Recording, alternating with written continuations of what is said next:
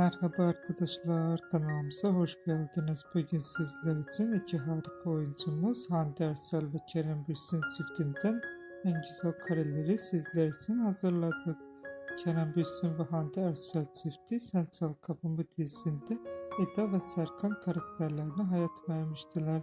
Herkes gibi biz de onları birbirine yakıştırıyoruz. Biz de sizler için onların en güzel ve en romantik karelerini hazırladık.